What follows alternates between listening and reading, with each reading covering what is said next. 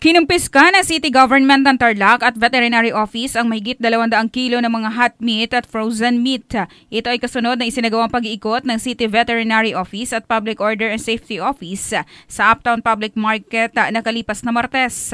Layo nitong masigurong pasado sa inspeksyon, hindi contaminated, maayos ang handling, tama ang temperatura at may kalidad ang karne, pest-free at naipapatupad ng maayos ang mga batas sa pagbebenta ng karne karne. Ayon sa lokal na pamahalaan, nasa 271 kilos ang kanilang nakumpiska sa inspeksyon. Bahagi umano ito na istrikto implementasyon ng mga patakaran sa meat handlers at dealers alinsunod sa Republic Act 9296 o ang Meat Inspection Code of the Philippines. Kabrigada, panatilihing malinis ang ating mga kinakain at para mapanatili rin ang pagiging fit and healthy, sabayan ang pag-inom ng NutriCleanse Herbal Capsule Linis Chan Sexy Chan. Ito si Kabrigada Brigada John Bayot ang Brigada News of Philippines, the Music and News Authority.